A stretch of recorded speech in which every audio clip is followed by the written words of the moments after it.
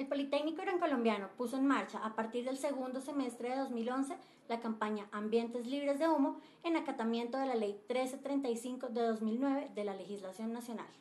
La promoción de los ambientes libres de humo es un tema de bienestar de la comunidad.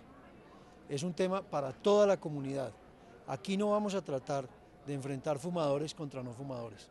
Las entradas, los parqueaderos, el paradero y los sectores aledaños al campus son espacios que corresponden a la institución y en los que la comunidad universitaria también debe respetar la normatividad.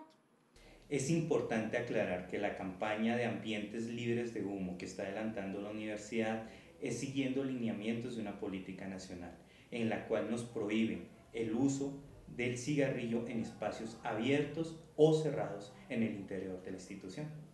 Disfrutan el poli de un ambiente natural, saludable y por supuesto libre de humo.